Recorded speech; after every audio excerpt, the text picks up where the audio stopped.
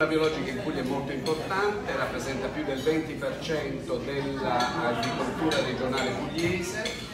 con produzioni di punta come quella dell'olio di oliva e ortaggi, frutta, grano, cereali, è veramente tanto prodotto che per fortuna stiamo imparando a consumare anche qui precedentemente era destinato solo all'esportazione e oggi grazie anche a queste iniziative riesce ad arrivare alla portata di tutte le tavole e anche eh, dei, diciamo, dei cittadini di questa regione.